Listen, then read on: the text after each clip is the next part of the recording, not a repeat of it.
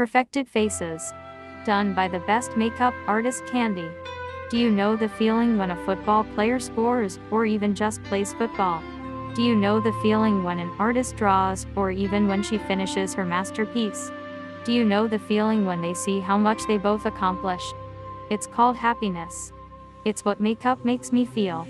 Makeup is art on your face. It enhances your features, not hide them, unless you want to. Which is what makes it great. I don't see why makeup deserves all this hate. Wearing makeup isn't about insecurity. It's about confidence, at least to me. Simply just applying these beautiful products on my face makes me happy. Why? Because that's my kind of masterpiece. Makeup isn't what makes you feel beautiful, it doesn't make me beautiful. I know I'm beautiful just like everyone else. The face is everything, because without it, what is makeup? The face is like a paper that an artist needs to draw on. At the end of the day, your face is the reason you're beautiful. Hello, beloved siblings. This is Reverend David, and I want to share with you something that I seen uh, not too long ago here. My, my son, my wife, and I uh, went to Walmart, and as we pulled up next to this vehicle, my son actually spotted this uh, sticker on the right uh, passenger, uh, uh, the right back passenger window, and this is what he saw. Heaven has a wall and strict immigration policies. Hell has open borders. But that's the result of Christian nationalism and, and Christian supremacy, where people actually believe that um, that you could justify your political agenda through um, script through the lenses of scripture and God's views and pretty much just justify whatever you want to do your, your hate, your bigotry, your racism, and your pride and arrogance and your hate and fear by using politics and scripture. The thing is, in uh, Ezekiel chapter 16, it says in verse 49.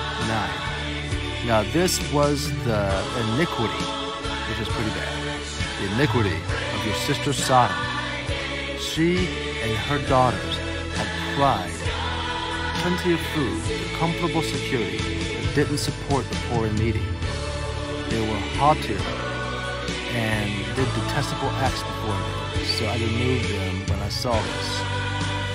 So this talks about what they do as rejecting the poor and the needy, and they and they kept everything for themselves. And they, if if if if, if, that, if you read the book of Joshua, chapter 19, um, they said that the uh, it says that when a stranger would would come into their city, they, they would rape them and kill them.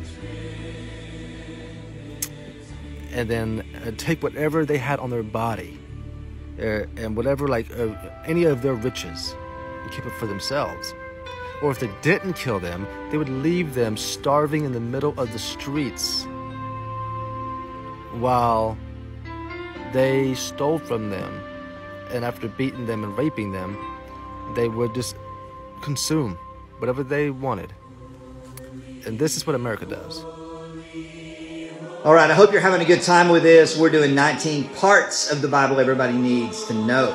All right, today we're on number 12. Number 12 is an amazing, amazing part of the Bible. It's Isaiah chapter 55. Okay, the whole chapter's phenomenal, but we're going to look at just a part of it. Uh, I want to remind you though, we started with the last word in the Bible. The last word in the Bible is Amen.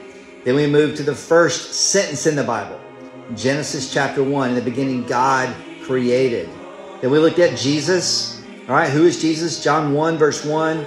In the image, uh, in the beginning was the Word of God, and the Word was with God, and the Word was God. We talked about Jesus is God. And then what, is, what did Jesus tell us to do? He said, Matthew 6, follow him. Okay, that's just the first four. All right, now we're all the way up in number 12. So, what does number 12 have to say to us today? This is fun. Isaiah chapter 55 is the chapter for verse 12. Or, excuse me, for number 12 in 19 before 19. Isaiah chapter 55. In this chapter, we learn many things. The part that I want you to think about is this one. The Bible says in Isaiah 55, it says, God's ways are not man's ways. Man's ways are not God's ways. As a Christian, as a follower of Jesus, God tells us to, uh, to, to chase hard after Him, to understand that His ways are not our ways, to let His ways rule, let His ways take over our lives. Isaiah 55, number 12 in 19 parts of the Bible is God's ways are not our ways. Take some time today and read the whole chapter. Read all of Isaiah 55. And then we'll be back tomorrow with number 13. All right? So, number 12, 15, 19 parts of the Bible everybody needs to know. Number 12 is Isaiah 55.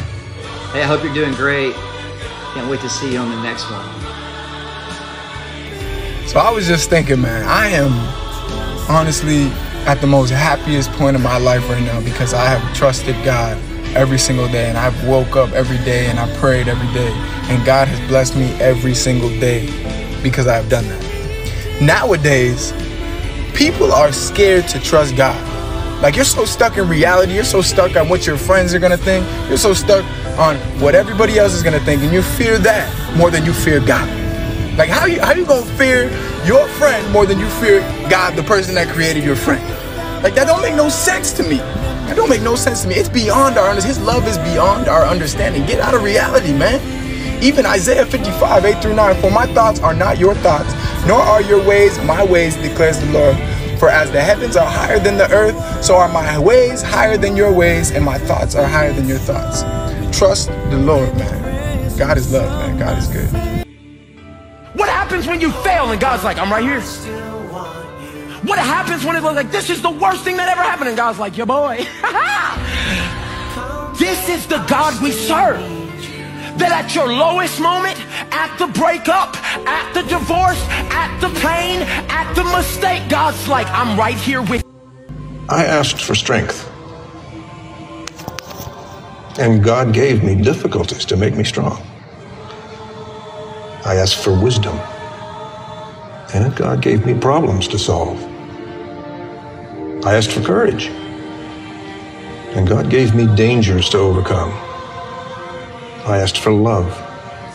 And God gave me troubled people to help. My prayers were answered. Hey y'all, hey, so I want to encourage somebody to not rush the lesson. Don't rush the process. Um, God is trying to teach you something that can't be rushed. You have to go through this in order to experience the magnitude of the blessing that's on the other side of the test. Um, a woman has to carry a baby for nine months before she delivers. Um, you have to crawl before you can walk. Um, my college students, you have to go through college and go through the process of your semesters and passing these classes to get that degree.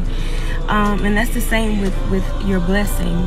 There is steps to the blessing. There is a process that comes with the blessing and it cannot be rushed because you'll miss something that God is trying to show you in the midst of it. And so I want to encourage you to hold on, hold on. Um, you're going to see why you had to wait in the end. And it's going to be so beautiful. Just hold on. Jalen, can you tell me about God's timing? God's timing. God's timing is not like our timing. His ways are not our ways. His thoughts are not our thoughts. His ways and thoughts are higher than our thoughts. And God's timing is perfect. He sees everything laid out completely. He can see everything from the beginning to the end. He was in the beginning. And he's already been to the end, so he knows everything. It's infinite. So it's hard to understand his timing and how it relates to our timing. And so sometimes we're in a moment and it just looks completely different than what God is saying. He's speaking into the moment, giving you word, and you're like, God, that doesn't even make sense. It doesn't even look like what I'm supposed to be doing right now. It doesn't look like it's lining up. But his timing is different. And it always catches you right at the right time. Whatever the mind can conceive and believe, the mind can achieve.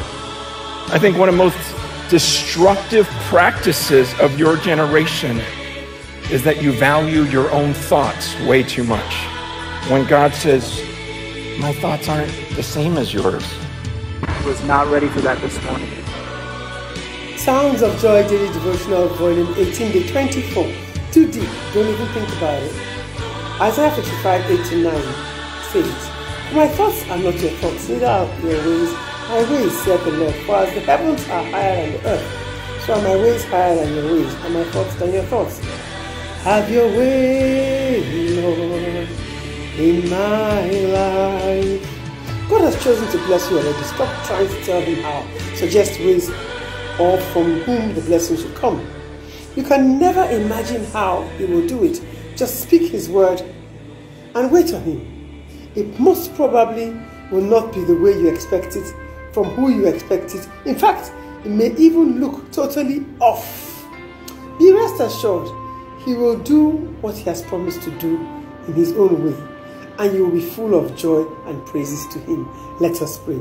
Omnipotent, omnipresent, omniscient God, all knowing, ever present God, and owner of all things, I release my will to you, Lord. Do as only you can and cause my joy to overflow in Jesus' name. Amen. God bless you.